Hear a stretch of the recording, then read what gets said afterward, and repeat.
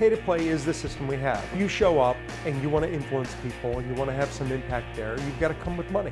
It's nothing but a money laundering operation. It is the cancer underlying all the cancers, whether it's climate change, whether it's our high child poverty rates, the corruption of our food supply, that we have the highest mass incarceration rate in the world.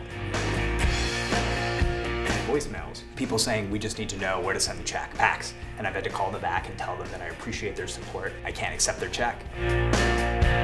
Probably the worst example of a pay-to-play catastrophe is this ALEC, where corporate lobbyists and legislators sit down together and uh, come up with crazy laws that hurt America.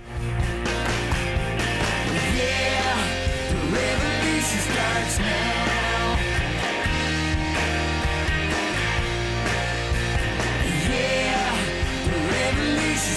now.